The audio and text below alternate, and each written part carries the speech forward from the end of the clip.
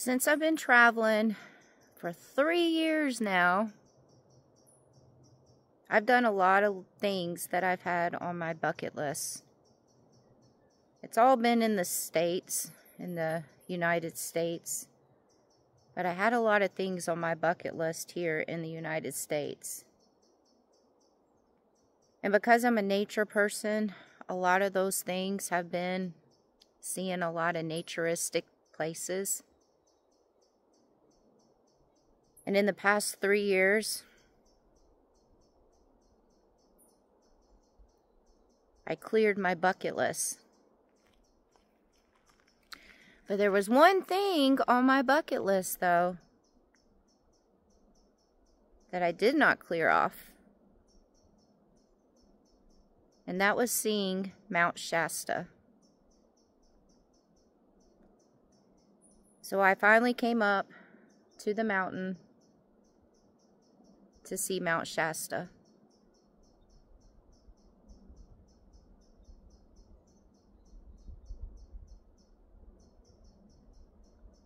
Wow.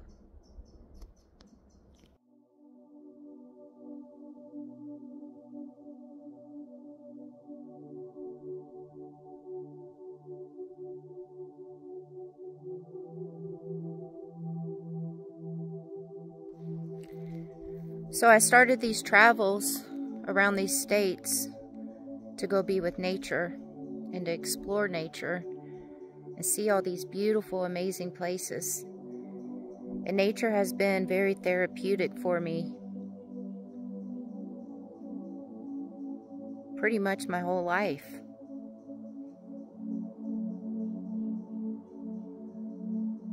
I'm always at peace when I'm in nature.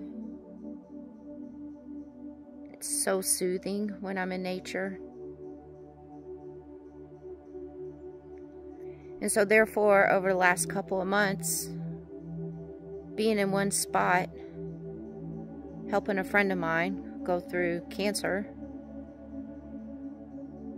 it's been a little stressful.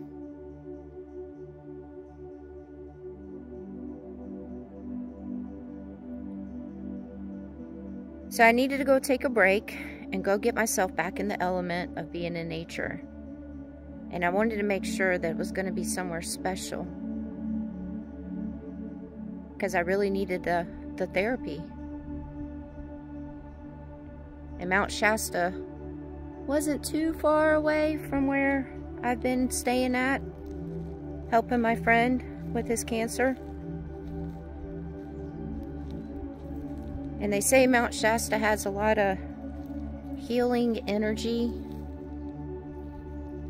And I definitely needed that healing energy. And I definitely just needed a special place in nature. It was time to reset.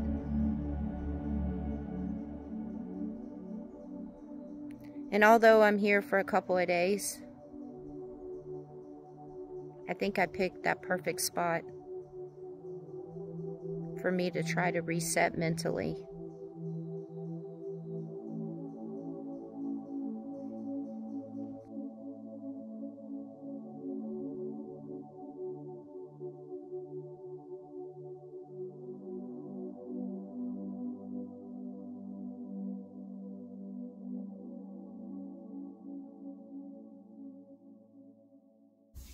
Well, I left really early in the morning to come up here to this mountain because I was really hoping that I could beat the crowd coming up. But I think everybody else had the same idea. there's been a good bit of cars coming up. I still have a few more miles to get to the overlook area. What a stunning, stunning drive. This whole area right here with the mountains, the trees, just the landscape of this area. This, I love all nature and I love all different kinds of scenery of nature, but this, this is my favorite by far. This is definitely my favorite. I get that sense of peace over me so, like, it's almost overwhelming when I get into places like this. Like, the, the peace that just comes through my body and mind. that I almost want to cry because of how beautiful everything is.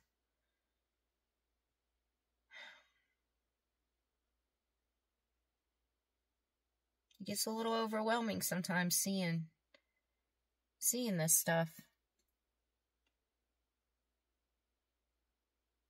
It's just absolutely amazing. Absolutely amazing. California, definitely, like Northern California, definitely has some beautiful, beautiful areas. This isn't my first time up here in Northern California. This is my first time in this area up here by Mount Shasta. But, uh, like I've been up to the Smith River and a few other places, and it's just a beautiful, beautiful place. I mean, it just all looks so majestic.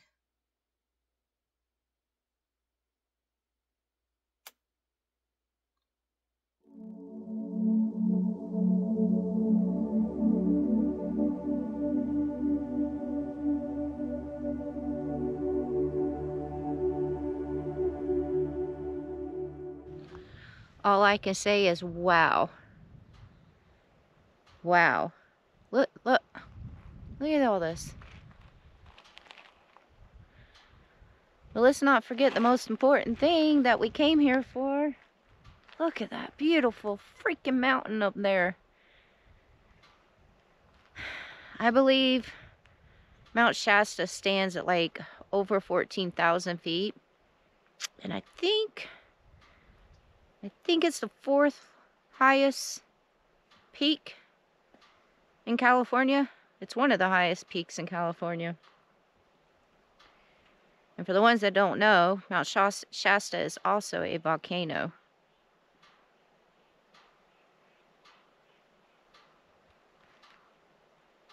Wow. I mean, just the drive up alone. The drive up alone is freaking amazing.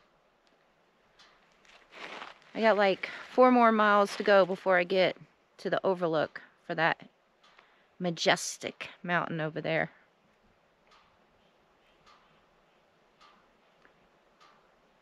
I wonder if I'll see a bear finally.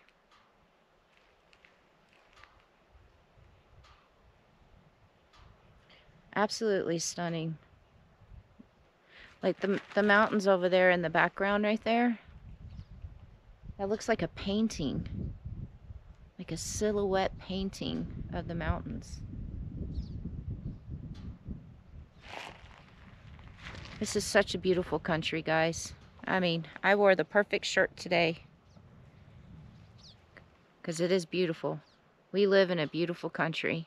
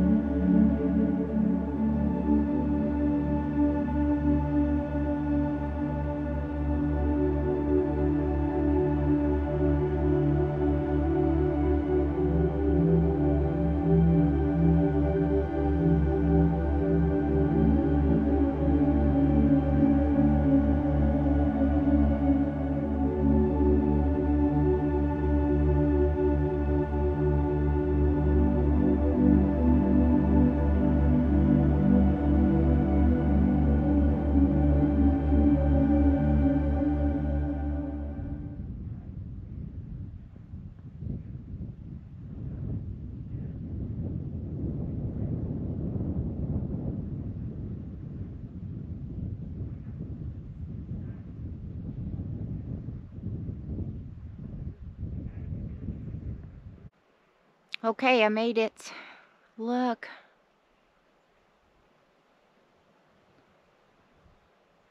I mean, the whole entire area is just breathtaking.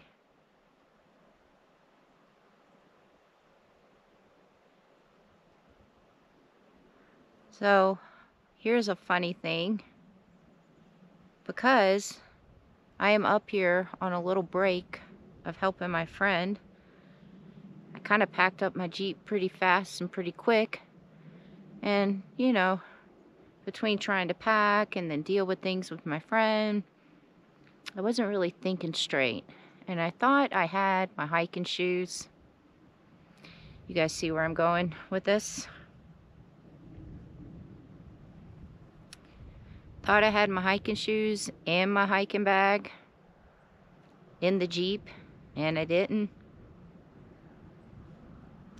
So I get up here, and I go to look for my hiking shoes, and go figure no hiking shoes. So all I have is my flip-flops. So I just hiked in a little bit with my flip-flops, but can't really hike up the mountain in flip-flops. Though I have hiked a lot of times barefooted. Because you know, when you hike barefooted, well for me, I feel like I'm one with nature and I'm really feeling nature and getting the vibration of the trail underneath my feet.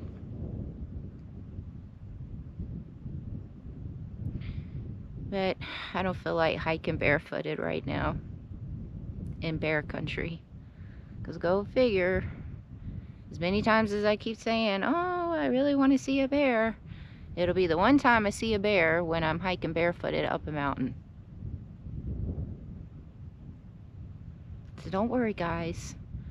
I'm not going hiking in flip-flops and bare feet. But I hiked in a little bit. I only did like maybe a quarter mile in, so if that. But I had to. I had to. I had to get a little close. Look at that. I mean, look at look at the trees. Some of these trees look like Christmas trees.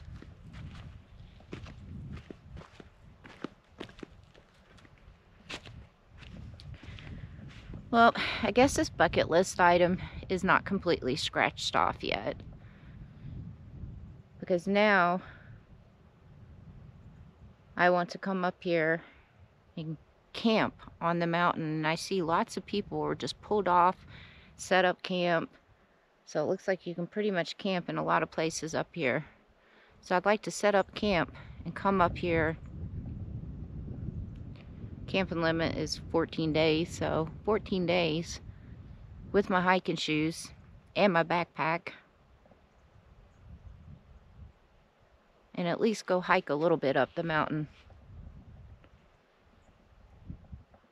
and go hike a lot of these trails. So the bucket list item hasn't been scratched off completely. But I made it. And I've been here for a minute. But I kept the cameras down so I could just enjoy and take this all in. Because it's a lot to take in.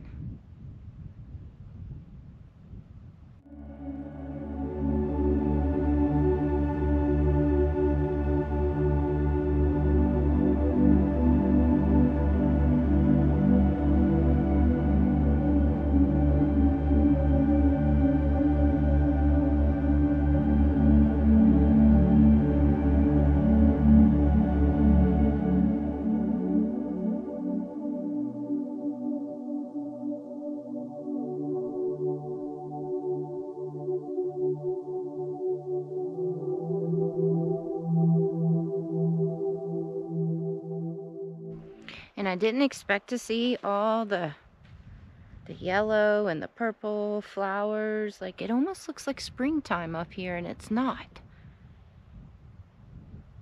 Like look, look at all that.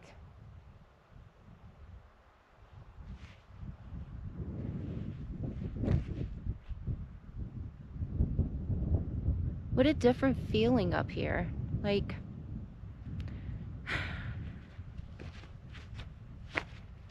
wow.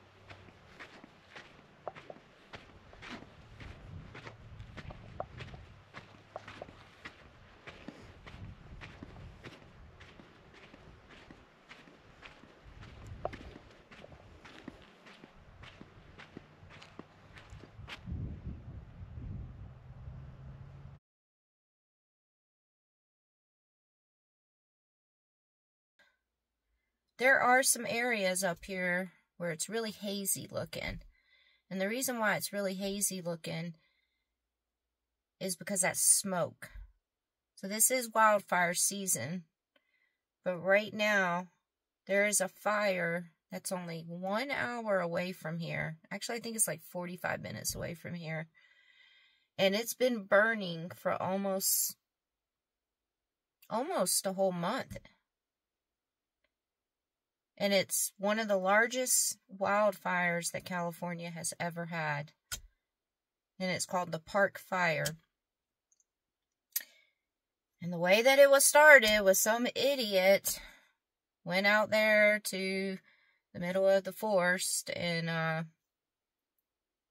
lit his car on fire and then shoved his car into a gully. And they, they did catch the guy. But because of that idiot doing that, um, it is now one of the largest wildfires that California has ever had. And it's been going on for almost a month now. I did drive kind of close to where the fire was when I was driving out this way. And it was really covered in smoke and everything. But, uh, it's only, I think, last night, yeah, last night I checked to see what the containment was of the fire. And it's only 39% contained right now. And the fire's been going on for over, not over, but almost a month. And so far it has burned 439,000 acres. Absolutely insane. So hopefully, I've been watching where I'm staying at. Every morning I look. I already know the zone that I'm in. So every morning when I wake up, I get online and I look up the zone. I put in the zone number to see if there's any evacuations going on for the zone that I'm in.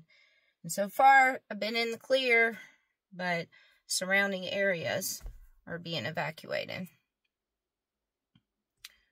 So hopefully I can get some good pictures with some clear skies. But it's been in and out with the, the haziness and the smoke. So